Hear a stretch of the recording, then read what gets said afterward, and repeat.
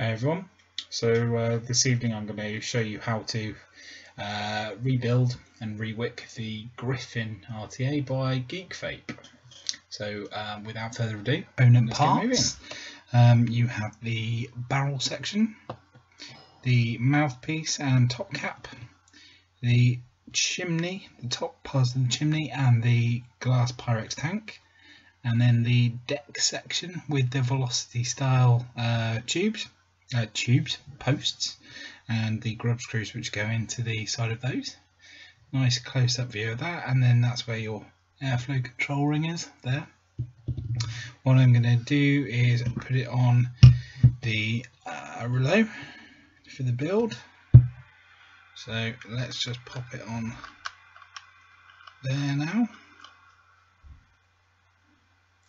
Nice, easy to work with build deck. I like. I've been using this tool actually recently. It's quite useful, and it seems to be have the right size Allen screws, Allen heads for all of my atomizers. So it's got two different si sizes. Um, this is the one that came with the um, the support. So a good little tool actually. I I will get a proper sort of screwdriver style one, but um, there you go. For the meantime, anyway. Oh, excuse me. Um, I like to first start off by just opening up all the post holes so we can get our build in there. What I'm going to use is a piece of Clapton wire. Bear with me, let me just grab a piece.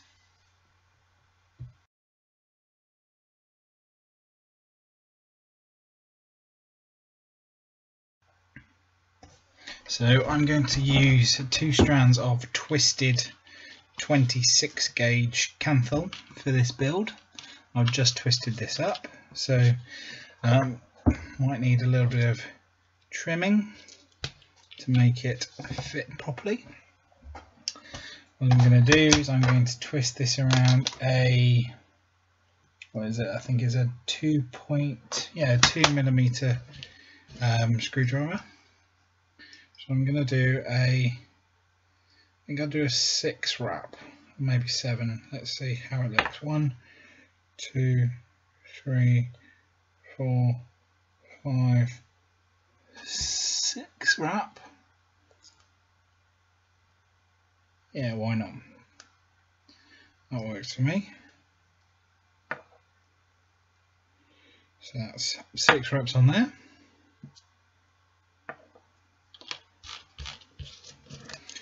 Put an equal six in here.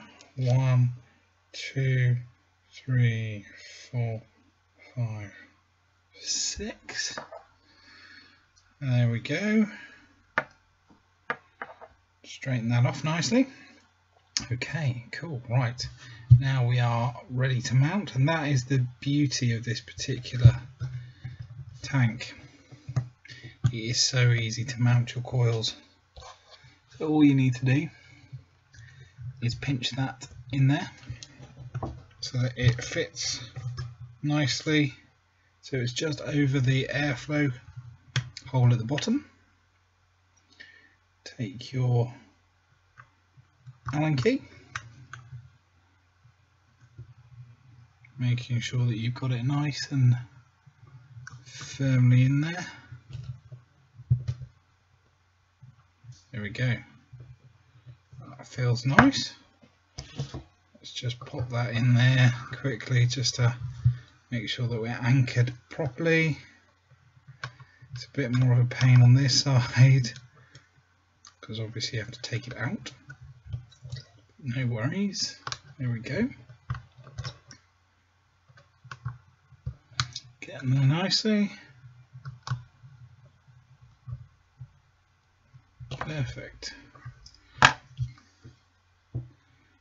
Yeah, there we go, nicely mounted coils.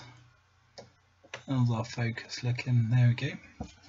Let's just trim these before they get in the way. There we go. So, not too high, just in the centre of the uh, centre of the posts. And then we just repeat the process for this side. Again, really easy. putting the bottom lead that's coming out the bottom way through that side. Hold that in nice and tightly for so that you can screw it up.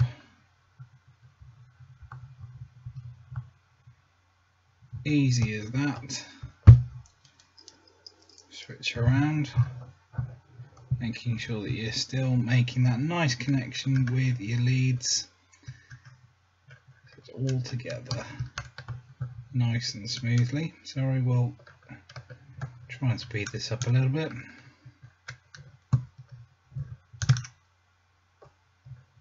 I thought I'd do this video just purely because I need to rebuild the Griffin anyway, so it made sense to show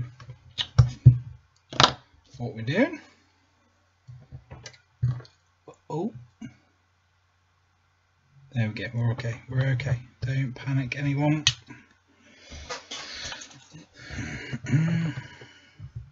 Chop them off. You absolutely need a good pair of uh, snips for this.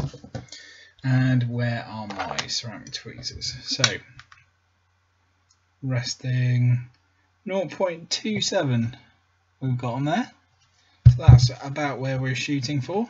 It will probably change a little bit with a bit of heat applied, but let's give it a quick pulse.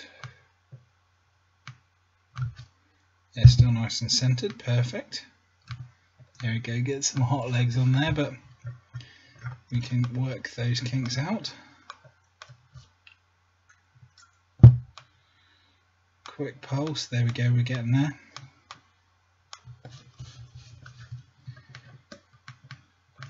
Let's uh, turn the lamp off for a second and you can see whereabouts we actually are. See how hot they still are.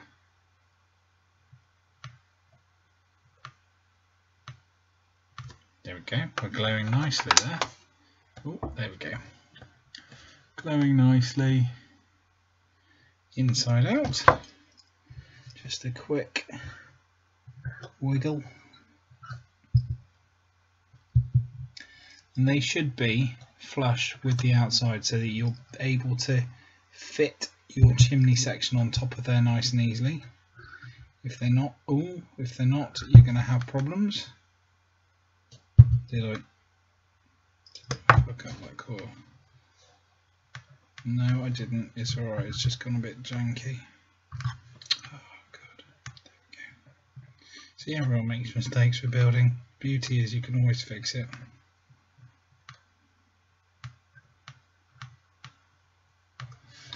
There we go, we're getting there.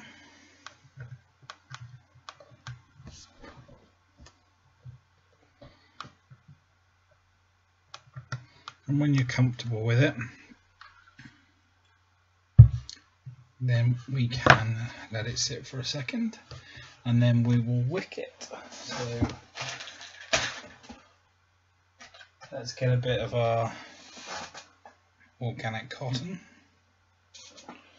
It's more of a an art to wicking these now that they're on a smaller build deck than on an RDA. You, I think you need probably less cotton for this. So take a strand of cotton. I tend to like to peel a bit off so you get nice fluffy cotton and poke that in through. That might be a little bit a little bit too much too little actually. There we go, let's there we go, perfect. Brilliant. Now for the other side. Again, just the same. Just get what you're comfortable with, what you want.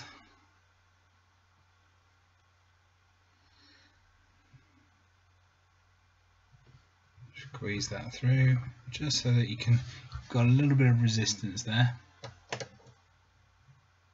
Go. A little bit of resistance. And then what we want to do is we want to trim our wicks quite a lot actually.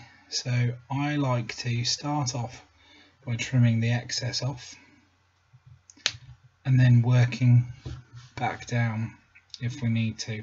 Taking more off is much easier to work out how much you need first. So that's a bit too much. So we can trim a bit more off there and a bit more off there and a bit more off there and a bit more off there. I'm left-handed so scissors are always a pain. Um, and then what we just do is we pop them so that they are not in the juice flow channels just resting above them. There we go. Beautiful.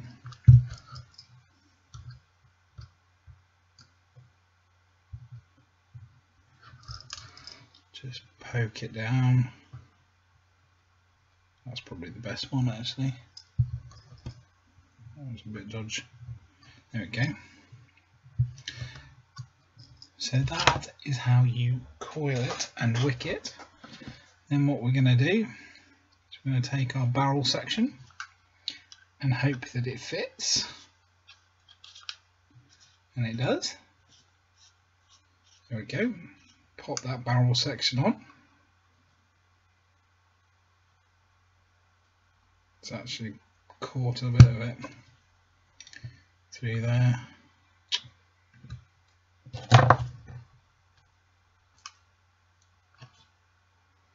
Let's just make sure that that's all nice. Yeah, yeah, perfect. I think we're going to be alright with that. Then what we want to do is we want to just wet our coils a touch. Let's not use a max VG, shall we? Let's use. No, do you know what? Let's let's pop some Charlie's chalk dust in there. That'll do. So we just moisten that all off down there. Still reading. Cool, lovely. And then what we want to do is we take our tank section,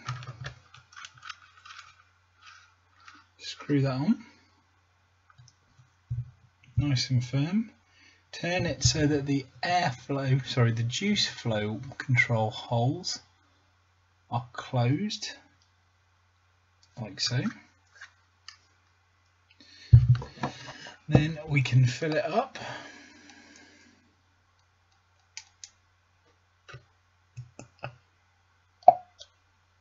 through the top. Those nice big kidney shaped juice flow holes. Juice flow holes. Juice fill holes. Doesn't hold masses, but it holds enough.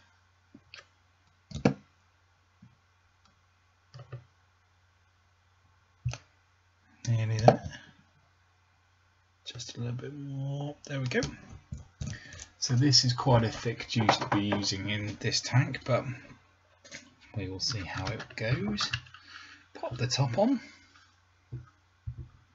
That will change the pressure slightly in the tank, so now when you open, you'll get all your juice flowing out beautifully. That's what we want to see. Let's um, get up to FaceTime, shall we? So that was the uh, quick build on the Griffin. Um, well, not that quick, but it just goes to show, to show how quickly it can be built on. It's not a hard tank to build on at all. It's really quite pleasant, quite easy to use.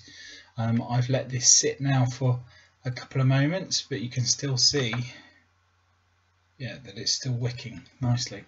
So let's give it a few priming puffs. Close off the juice flow the airflow, sorry, so that it wicks up nicely. Don't want any burn hits there. On our nice twisted 26 gauge. That should go nicely. Let's have a try.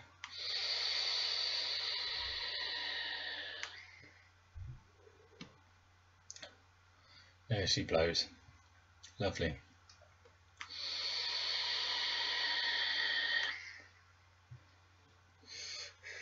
Good vape there.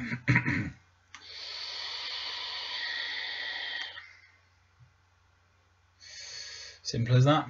Hope that was useful. Thanks very much. Cheers.